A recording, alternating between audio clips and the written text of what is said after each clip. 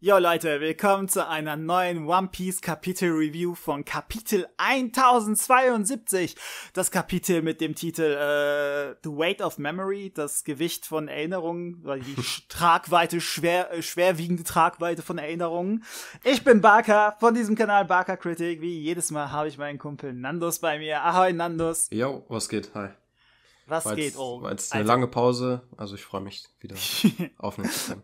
Ey, diese Woche habe ich mir einiges aufgeschrieben. Okay. Äh, bevor, bevor wir aber starten, oh Gott, du, du wirst es am Anfang feiern. ähm, bevor, wir, bevor wir aber starten, ähm, nochmal der Hinweis, Leute, falls es das erste Mal ist, dass ihr euch eine Review von uns reinzieht, äh, warum abonniert ihr nicht gleich diesen Kanal? Dann könnt ihr regelmäßig One Piece Kapitel Reviews von uns äh, abstauben und auch anderen Content. Ich schwöre, es gibt auch anderen Content außer One Piece auf diesem Kanal. Ähm, es wäre super, super geil, wenn ihr dieses Video liken und abonnieren könntet, weil diese zwei Dinge ultra dabei helfen, dass diese Videos so ein bisschen in den Algorithmus rutschen. Und ja, kann ja nie schaden, wenn man ein bisschen erfolgreicher ist. Also bitte abonnieren, liken und kommentieren und schaut auch in die Beschreibung des Videos vorbei, weil dort findet ihr Links, wo ihr Nandos und mir auf Spotify, äh, nicht auf Spotify, auf Twitter folgen könnt. Mir könnt ihr noch auf Spotify mit zwei Podcasts folgen, zum Beispiel Never Win, meinem Sportpodcast, wo ich über Fußball und Basketball und so weiter rede. Also wenn euch Sport interessiert, auf jeden Fall da vorbeischauen. Jetzt starten wir. Genau. Nice. Warte mal, bevor wir über dieses Kapitel reden, möchtest du irgendwas zum letzten Kapitel sagen? Ich wusste irgendwie, dass du mich drauf ansprichst. Ähm, ja, also wir waren ja und ich vor allem eher so negativ äh, in der letzten Besprechung. Zieh mich da nicht mit rein. Zieh mich da nicht mit Ach rein. komm. Ich, ich war okay, nicht dann von mir, negativ. es war nur ich negativ, Barker. Ja, Mann. größter One Piece Fan findet alles immer richtig geil. Ja, Mann.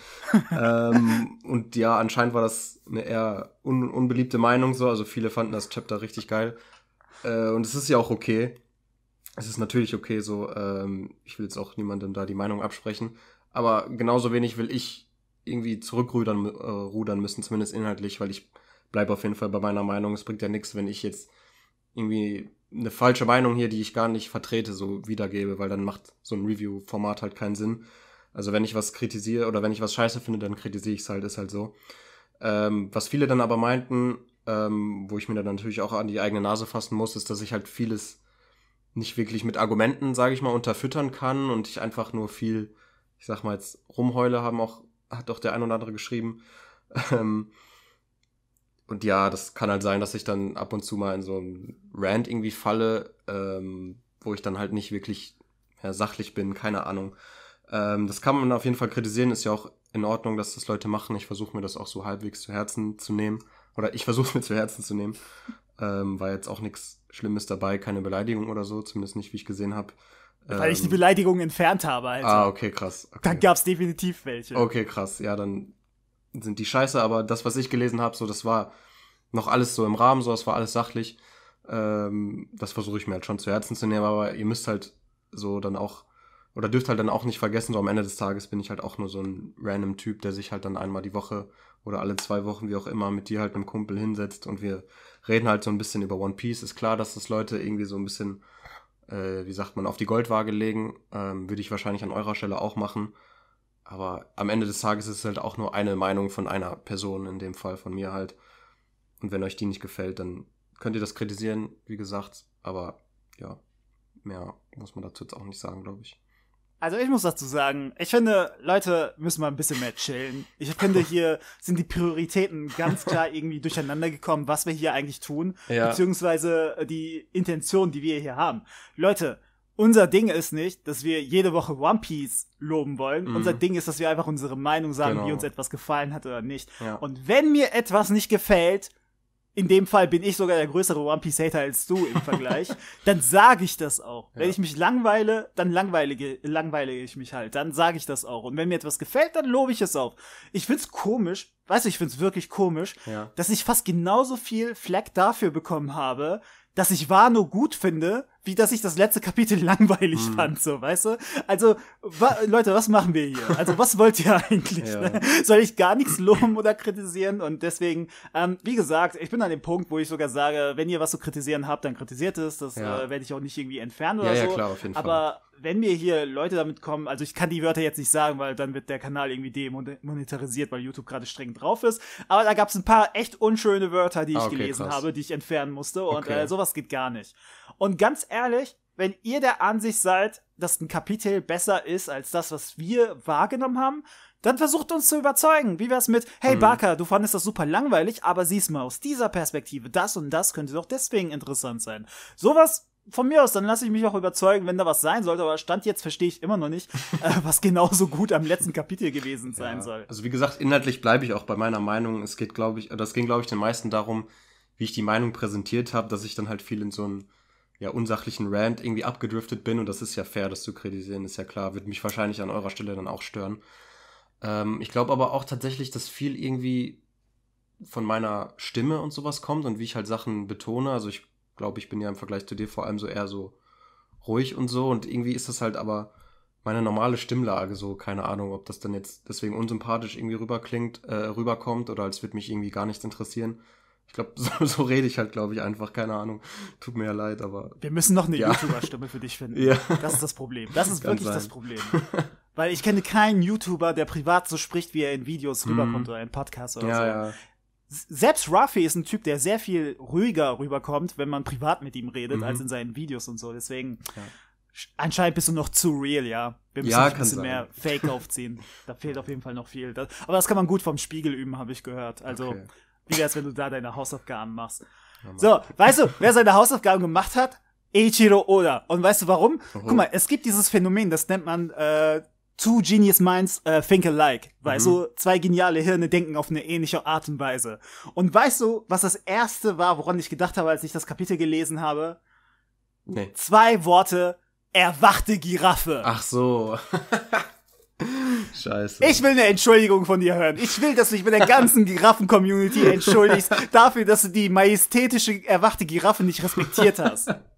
Ja, ey, sorry. Also es tut mir leid, ich werde jetzt äh, 500 Euro an WWF spenden, um die Giraffen zu retten, I don't know.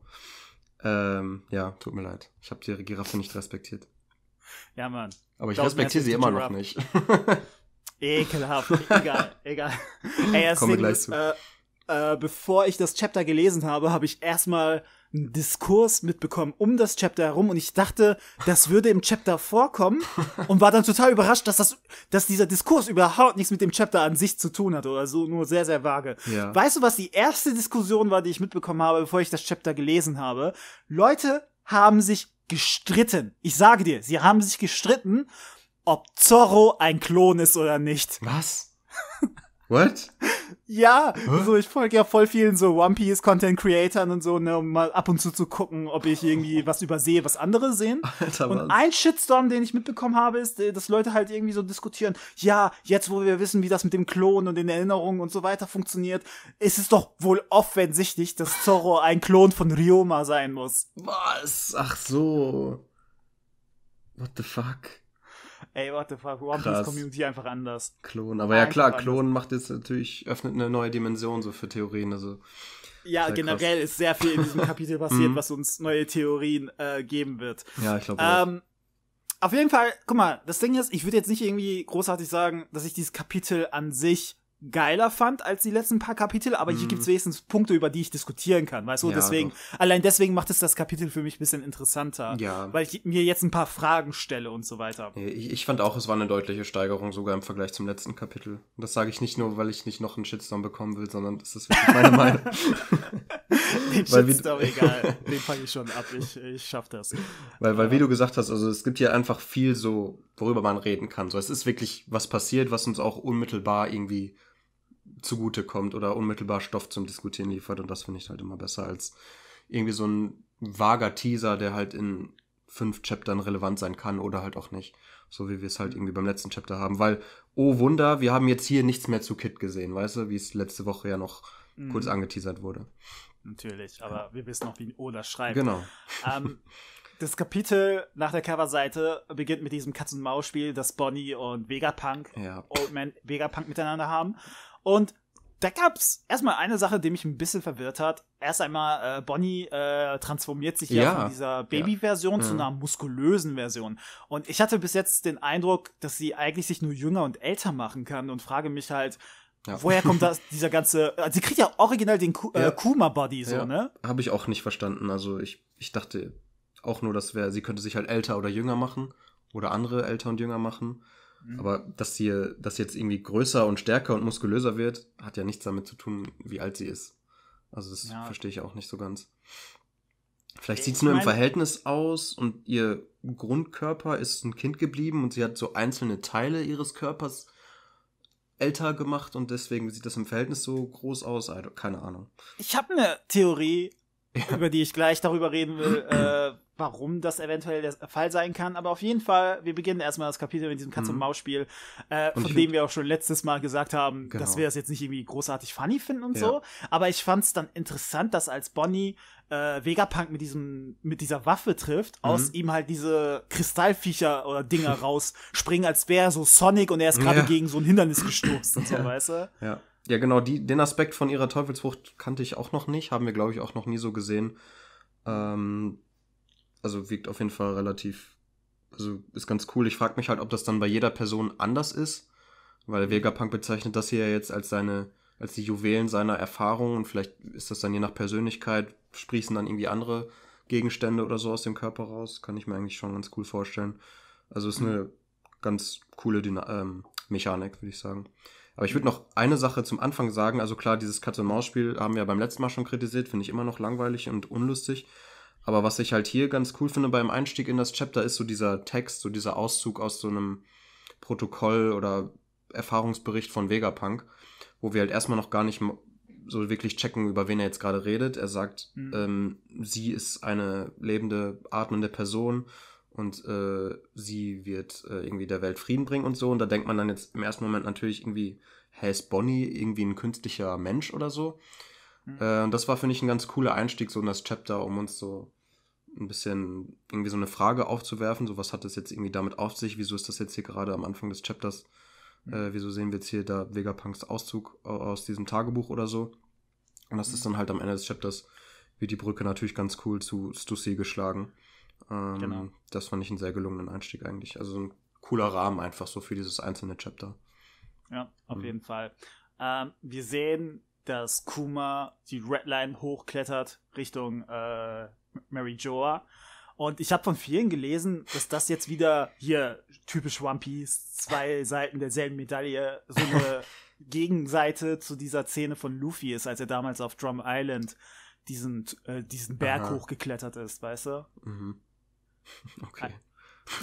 das war es dann auch das schon. Ding ist, also, äh, wir, das Ding ist mit solchen Parallelen so, das kann ja sein, aber also was, was soll diese Parallele dann aussagen? Weißt du? Guck mal, das ist, da, da, da sagst du nämlich was, weil ich habe mich gefragt, gegeben, gegeben dem Fall, dass das tatsächlich so ist und ja. dieser Arc irgendwie die Spiegelseite zu Drum Island ist, was tut es, außer eine Parallele zu sein? Genau. Also ja. außer einer visuellen Parallele. ja. Weißt du, weißt du, wofür ist das relevant? Ja. Und ich habe manchmal das Gefühl, das ist jetzt keine Kritik oder so, aber manche Leute nehmen manche Sachen als zu tief wahr oder tiefgründiger wahr, als sie eigentlich sind.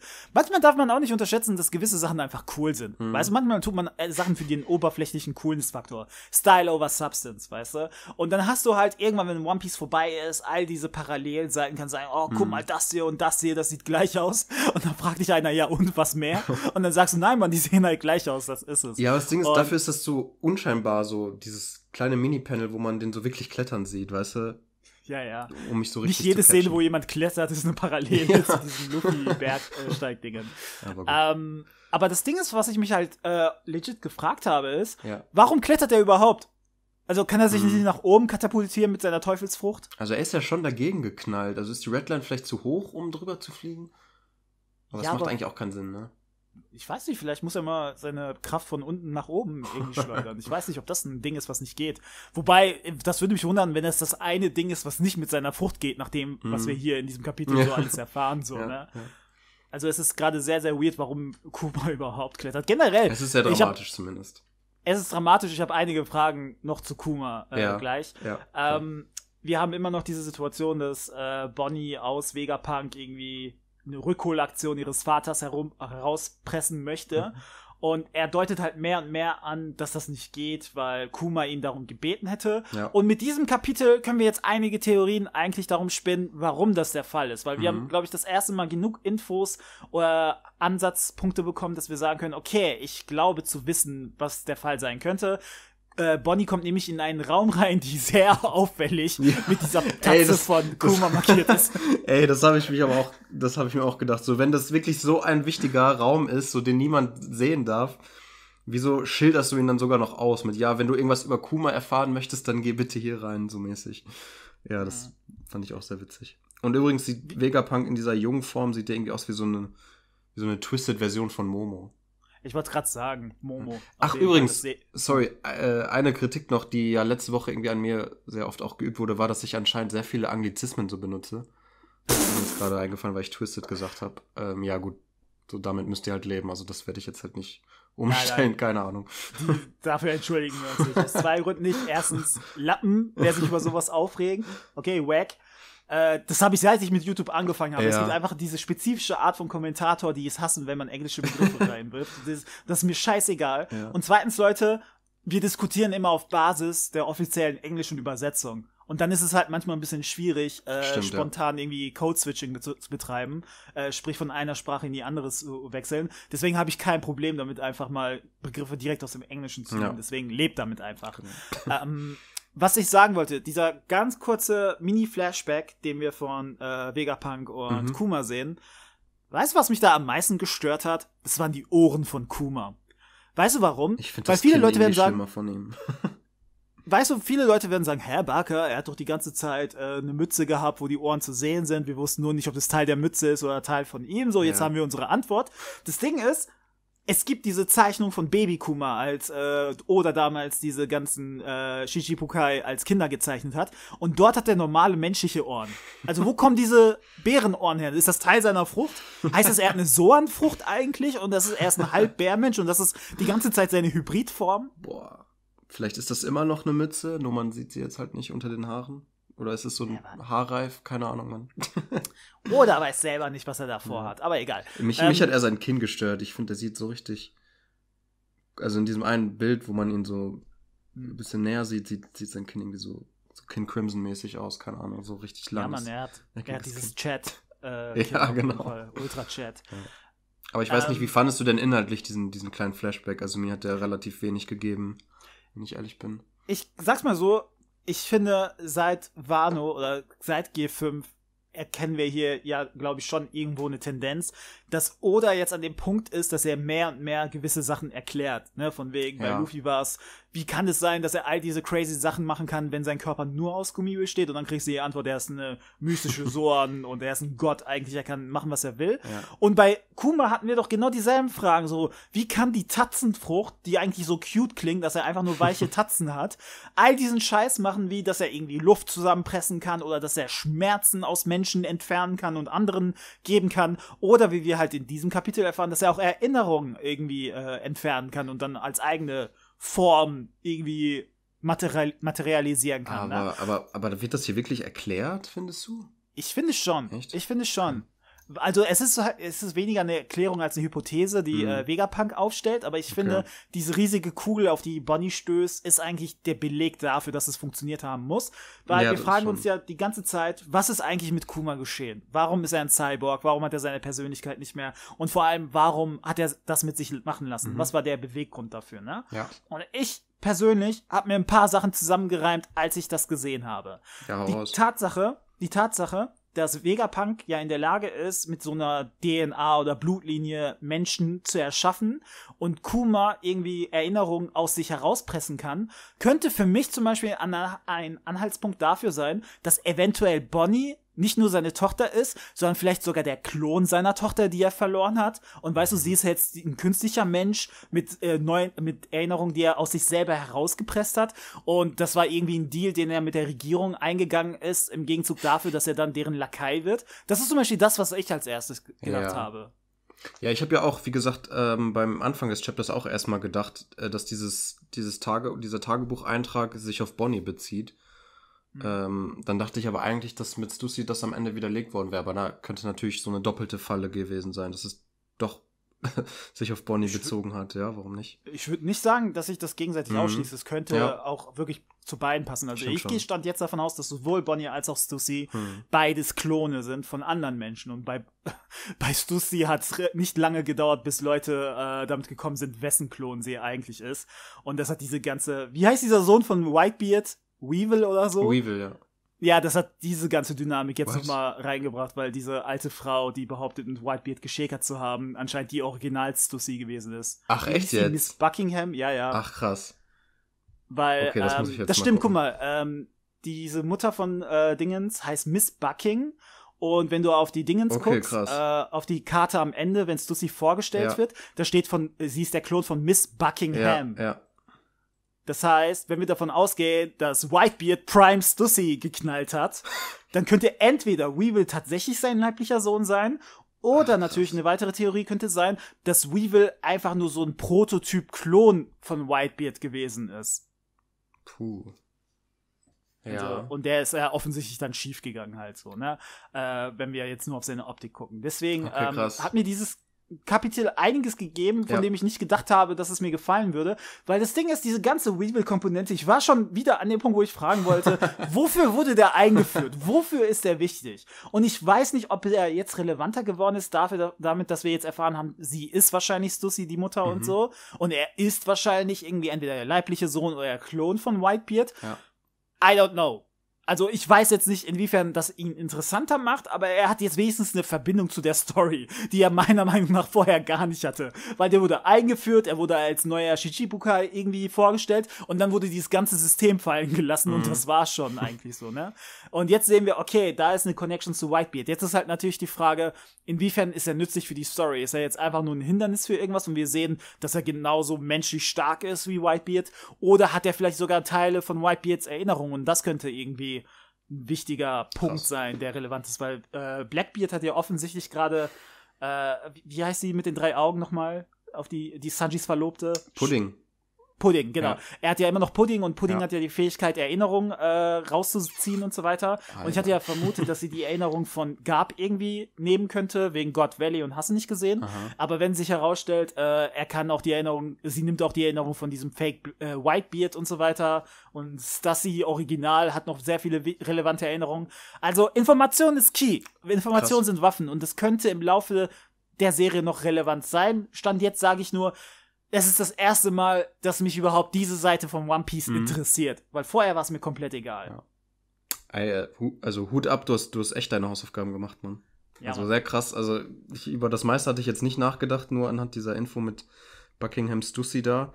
Äh, ich fand an sich eigentlich cool, dass sie halt, also ich fand sie für sich jetzt schon cool. Ähm, also ich fand diesen Twist an sich schon cool, äh, dass sie halt ein Klon von einer ist, die mal bei den Rocks Piraten war. Also das hätte mir eigentlich so als cooler Cliffhanger des Chapters schon gereicht. Ähm, aber ja, du hast das jetzt gerade für mich so sehr, sehr noch weit geöffnet mit, mit Weevil und mit, äh, mit, mit Pudding und keine Ahnung was. Also da ist wirklich extrem viel möglich. Das finde ich sehr, sehr nice. Mhm. Ähm, ich bin jetzt auch gespannt, wie das dann Weevil neu in die Story jetzt bringen wird. Das, das fände ich schon cool, weil mir, mir war der auch eher egal. Der war ja wirklich ziemlich, ziemlich random einfach. Der wurde so in die Story ja. geworfen. Und wir wussten gar nicht so, ähm, was der jetzt machen soll. Da war das System der Shishibukai schon, schon abgeschafft, wie du gesagt hast. Aber klar, jetzt, dadurch, dass. Ich dachte halt echt, Stussy, die Original Stussy wäre jetzt eine neue Figur, die wir dann jetzt halt noch nicht kannten. Aber dadurch, dass es seine vermeintliche Mutter ist, die dann wahrscheinlich auch vielleicht doch wie, äh, sogar eine Verbindung zum Whitebit hat. Also ja, doch, das finde ich schon echt spannend. Das ist cool. Ich frage mich halt, jetzt, äh, wir kriegen ja hier schon so ein bisschen cineastische Szenen, äh, wenn wir zwischen Bonnie und Kuma rüber switchen. Kuma wird immer mehr von diesen Marinesoldaten mhm. angegriffen mhm. und geschädigt und äh, wir kriegen immer näheren Zoom an Bonnie, die diese Blase mit den Erinnerungen wahrscheinlich berühren wird. Ja. Und ich nehme an, dass das dann einen Flashback triggern wird, der irgendwie darauf hinausläuft, okay, sie findet heraus, sie ist der Klon seiner echten Tochter mhm. und er wollte nicht, dass sie das erfährt. Und ich könnte mir vorstellen, je weiter dieser Krass, Flashback von, von ihr geht, geht oder von ihm, was auch immer, dass es halt darin mündet, dass Kuma kurz vor seinem Ziel, was auch immer das sein mag, in Mary Joa sterben wird. Ja. Denke ich mal, weil ja. dramatisch macht es jetzt absolut Sinn, ja. ihn so zu killen, auch wenn es One Piece ist und wir das normalerweise nicht bekommen, aber ich will mal dran glauben, dass Oda uns sogar jetzt noch überraschen kann. Und ich frage mich halt, warum es für uns relevant ist, dass Bonnie dann diese Erinnerung bekommt, weißt du? Also, das ist natürlich cool für ihren Charakter Arc und für Bonnie-Fans auf der Welt und so, aber ich frage mich halt, inwiefern das für uns relevant ist, was sie mit diesen Infos macht. Also, wird sie den Strohhüten irgendwas verraten, was relevant sein könnte, wie zum Beispiel,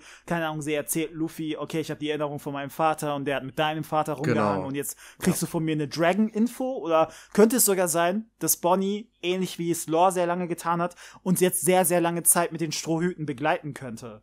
Ja, oder halt beides. Ähm, weil ich ja, finde halt echt, äh, Kuma ist ja so voll die Wundertüte eigentlich. Ist ja echt irgendwie ein Charakter, den viele geil finden und so, der halt auch so eine krasse Präsenz irgendwo in der Story hat, aber über den wir faktisch halt relativ wenig wissen. Ähm, aber der halt so viele Verbindungen irgendwie zu so entscheidenden Leuten auch hat, dass ich das jetzt richtig spannend finde, was, was Bonnie jetzt hier irgendwie erfahren könnte. Und umso besser, wenn sie dann aufs, also diese Infos mit aufs Schiff der Strohhüte nehmen könnte und uns da dann jetzt irgendwie so stetig mit diesem Flashback, sage ich mal, versorgen kann.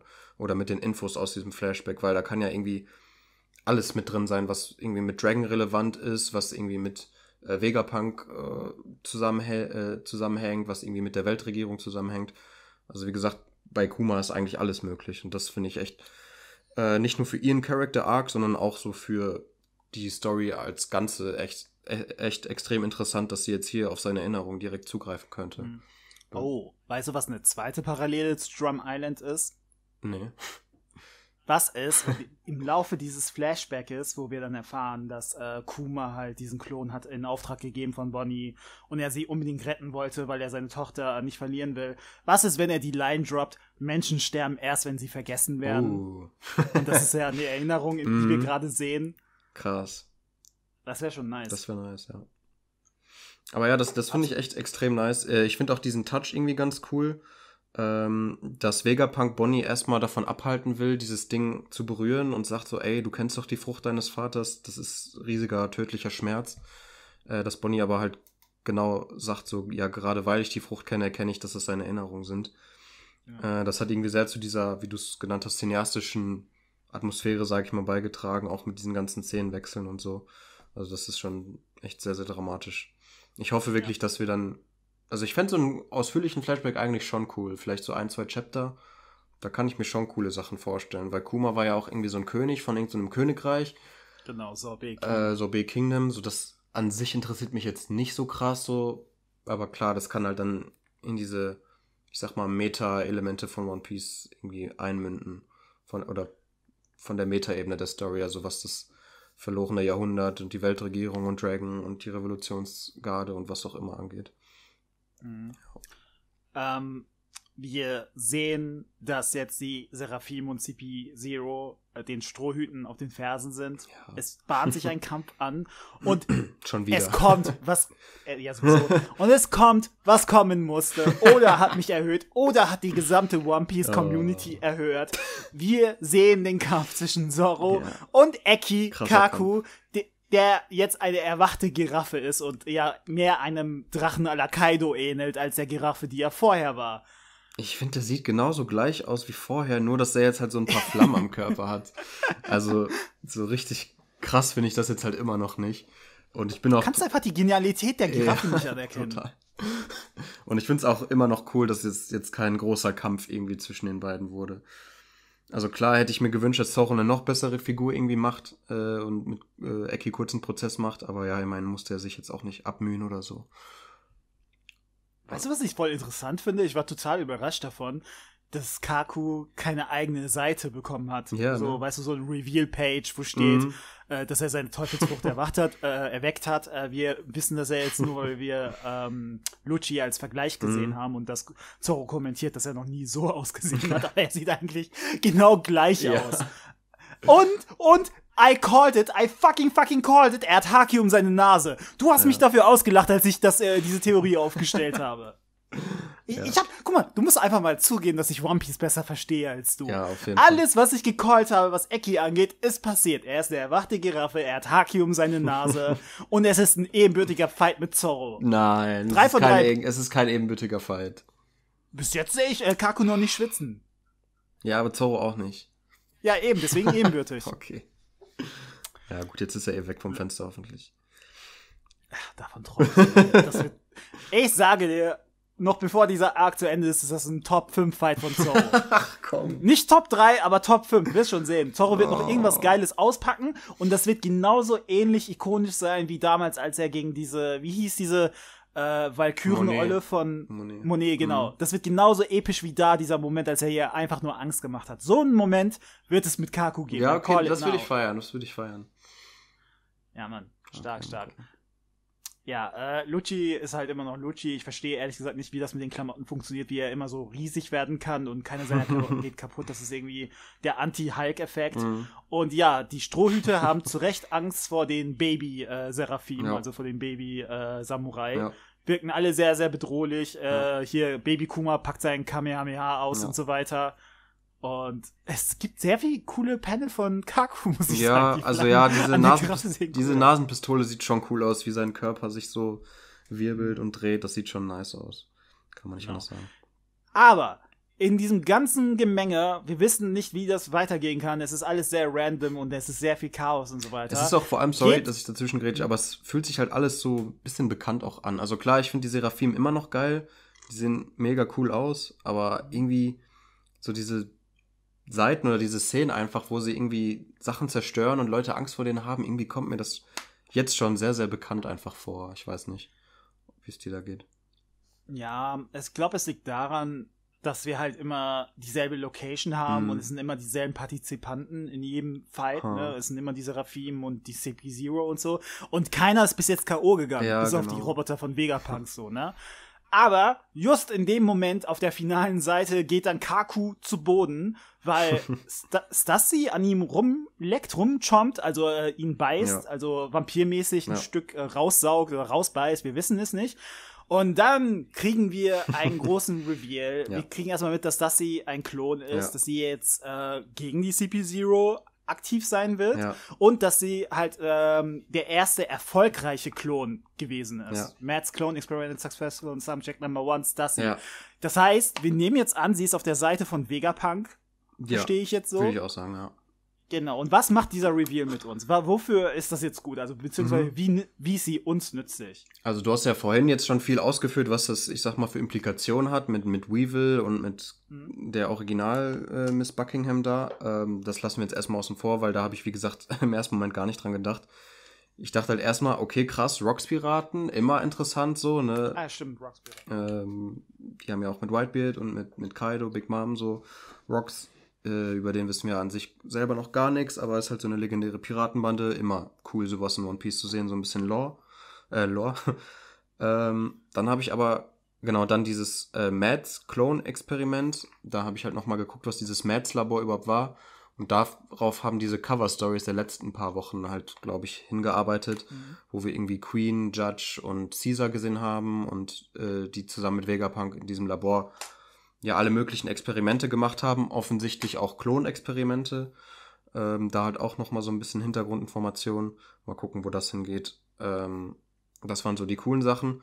Dann dachte ich aber, ja, schon sehr, sehr random. Jetzt gerade dieser Zeitpunkt, weil Stussy ist ja jetzt schon seit ein paar Kapiteln hier äh, aktiv und jetzt gerade entscheidet sie sich halt dazu, ähm, ja, jetzt die CP0 zu verraten. Fände ich ein bisschen komisch. Und generell alles mit Stussy ist halt schon weird irgendwie, weil das ist jetzt quasi ja schon der zweite Plot-Twist so mit ihr, wenn ich mich richtig erinnere, weil erstmal dachte man ja nur, dass sie so eine normale Mafia-Frau ist. Das dachten wir zumindest bei der äh, Hochzeit da von Big Moms genau. Tochter. Dann, da, äh, dann kam der Reveal, oh, sie ist bei der CP0, krass. Und jetzt kommt der Reveal, oh, sie ist doch nicht bei der CP0, sondern irgendein Klon, krass. Hm. Also ich, ich, ich will das gar nicht schlecht reden. Ich finde es irgendwie weder positiv noch negativ. Ich finde es einfach nur in erster Linie ein bisschen random so, weil, keine Ahnung, wer ist Tussi überhaupt, weißt du? ja, das ist eine sehr gute Frage. ähm, jetzt sehen wir auf jeden Fall, dass sie auch diese Flügel hat. Ah, genau, stimmt. Ihr sieht das ja. mehr Fledermaus-mäßig genau, aus. Ich finde, bei ihr sieht es mehr so ein bisschen aus wie, äh, wie bei Robin. Ja, Mann, ne? da muss ich auch denken an ihre mhm. Dämonenform genau. gegen äh, Black Maria. Genau. Sieht schon nice aus, also kann man nicht sagen. Ja, auf jeden Fall. Mhm. Und das ist, glaube ich, das schockierteste Lucci-Gesicht, was ich jemals gesehen habe. Also ja. der, ja, der hat das ja null kommen mhm. sehen, wirklich. Ja. Und jetzt ist halt wirklich die Frage, worauf läuft das hinaus? Also für mich ist das jetzt der Punkt, wo wahrscheinlich überraschenderweise Lucci auch K.O. gehen wird, weil er überhaupt nicht damit gerechnet hat mit so einer internen Meuterei und so weiter. Und was passiert danach mit ihr? Also schließt sie sich Veg- Vegapunk an und Vegapunk hat dann ein chilliges Leben mit Klonen, Stussy so, weißt du? Hat er sich einfach eine Waifu für die Zukunft schon mal bereitgehalten? Also was genau ist hier der Plan? Ja. Weil das würde für mich mehr Sinn machen, als dass wir Vegapunk irgendwie eine Weile bei den Strohhüten mitsehen, mit den ganzen sechs Klonen und so weiter. Für mich wäre es irgendwie logischer, wenn Stussy mit ihm irgendwo Ja, hinflüchtet. fänd ich auch Aber ich weiß dann auch nicht besser. für welches Ziel. Ja, vielleicht, vielleicht fliegen sie zu, zu Dragon oder so und verstecken sich dann bei den Revolutionären. Das Sowas sein. könnte halt sein, ja. Ja, Ja, finde ich, Das- fände ich auf jeden Fall auch besser, als wenn jetzt Vegapunk echt, vor allem wenn alle Vegapunks jetzt mit uns so auf der Sunny sind, das fände ich echt komisch. Ja. Mhm. Aber ähm, was ich noch eigentlich relativ interessant finde, das hätte ich eigentlich fast übersehen, bis du jetzt gerade so angesprochen hast, dass sie halt das erste erfolgreiche Klonexperiment ist. Was natürlich dann die Frage aufwirft, gibt es noch irgendwie weitere erfolgreiche Klonexperimente? Gibt es noch mehr Klone? Ist Bonnie vielleicht einer davon? Genau. Ähm, also das ist halt echt so ein Chapter, wo viele so subtile Fragen oder mehr oder weniger subtile Fragen irgendwie aufgeworfen werden, die halt alle mehr oder weniger spannend sind. Aber dass man jetzt hier zumindest was hat, worüber man reden kann, finde ich halt auf jeden Fall sehr, sehr positiv unterm Strich. Das Ja. Einzige, was dagegen spricht, dass Bonnie ein Klon ist, Ja. ist die Tatsache, dass sie keine Flügel hat. Ach so. Ach, meinst du, das ist jetzt Weil- quasi wegen den der Seraphim auch, ist das so eine Grundbedingung für Klone? Dass die Ich Flügel mal an. Aber ich meine, ihre Flügel sehen ja schon anders aus als die jetzt von, von den Ja, Seraphim. aber sie hat ne? welche. Hm. Das wäre halt irgendwie komisch. Mhm. Wenn, und sie ist halt Nummer eins so, ne? Und Ja, die neu, neuesten Pro äh, Versionen Ja. haben halt auch welche. Das wäre halt voll komisch, wenn ausgerechnet die Nummer zwei oder irgendwas in der Mitte halt keine Flügel hätte. Oder Hm. Bonnie hat sich nie gefragt, warum sie Flügel hat, die sie immer versteckt. Keine Ahnung. Wir wissen es nicht. Vielleicht kriegt sie auch so Engelsflügel, nachdem sie die Erinnerung von Kuma bekommen hat. Und das ist dann ein großer, so Magical Girl Reveal mäßig. Ja, kann alles sein. Ja, Mann. Ja. Alles klar. Äh, wenn wir jetzt auf Gewinner und Verlierer der Woche eingehen, Gewinner der Woche ist ja wohl eindeutig die erwachte Giraffe. Klar. Auf jeden Fall. Gewinner des Jahres können wir eigentlich jetzt schon küren. Chapter des Jahres. Nee, also. Mh, ich, also ich. Hm, schwer zu sagen eigentlich.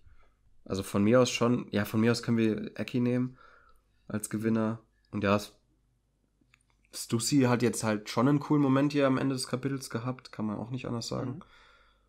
Ähm, aber an sich, weiß ich nicht, Bonnie oder Kuma haben ja jetzt nicht viel gemacht. Das ist ja immer noch, also ich finde schon, dass wir jetzt so von dem Storystrang einen guten Fortschritt gemacht haben.